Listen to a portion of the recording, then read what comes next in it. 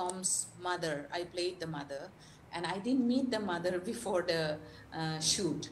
I met the lady later on, and uh, yeah, during one of the promotional uh, events.